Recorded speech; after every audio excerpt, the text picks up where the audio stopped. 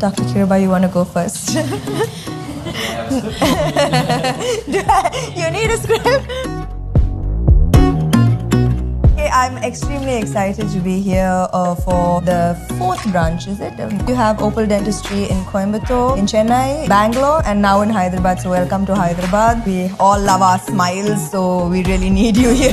so we, that means our city is going to have better smiles. I remember uh, having my friends grow up with these, with these, you know, the, those sil- uh, silver, really um, uh, hard, and uh, it looked scary and it looked painful. And I'm really glad that now we have um, better options.